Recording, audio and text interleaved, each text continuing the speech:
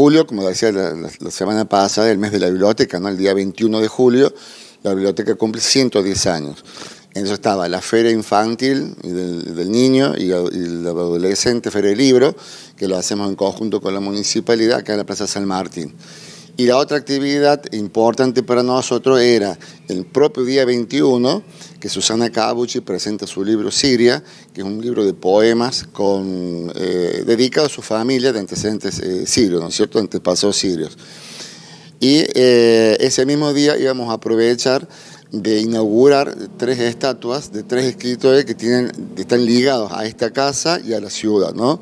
Uno es Susana Cabucci, el otro es Francisco Luis Bernardes, que, vivió acá en la zona durante muchos años, y una vez me contaba por Otita Torre, una ex directora del Colegio de Estrada que murió el año pasado, que fue secretaria de esta biblioteca, me decía Bernardes se sentaba y escribía debajo de esa ventana, ¿no?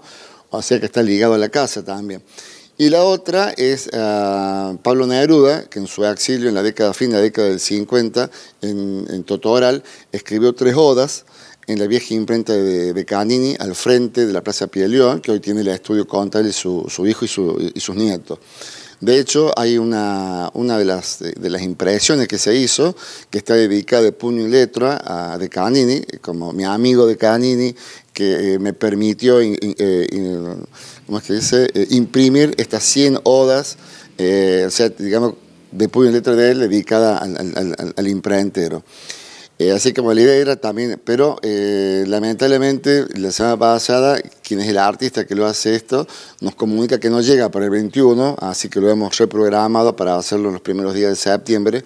Vamos a hacer la, digamos, la, inauguración ya de las estatuas acá en la esquina, en la, vereda, ¿no? Para que la gente, son tamaño natural, eh, para que la gente pueda observarla va a haber una especie de tubo con código QR donde se va a poder ver quién es cada uno de estos actos, de estos eh, tres escritores y la obra que, tienen, que, han hecho cada uno de ellos, ¿no es cierto?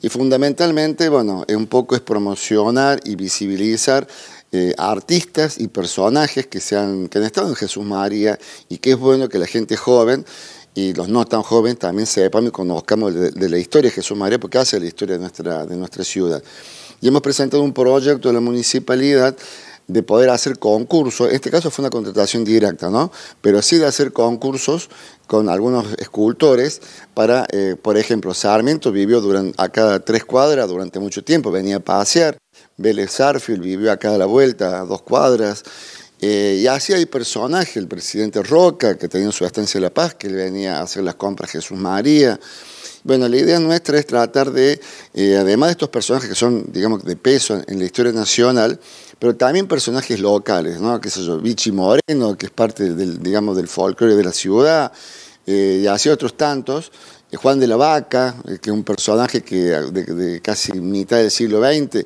que le decían así porque él salía a vender leche con la vaca y te ordenaba la leche en, tu casa, por ejemplo. ¿no? Bueno, y así tantos personajes que nos parece que tienen que estar inmortalizados en los lugares emblemáticos de, Jesús María. ¿El proyecto fue presentado a la municipalidad ya? Sí, yo en el mes de marzo, porque el año pasado, más o menos en noviembre, eh, eh, empecé con la idea esta de, la, de las estatuas acá en la esquina.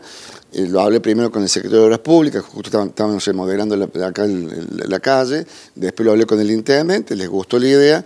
Y en marzo, bueno, por nota, digamos, ya, lo materializamos por nota para pedir también la autorización municipal, que también estuviese escrita, de la aprobación de las estatuas, cosa que por supuesto me dijo que sí.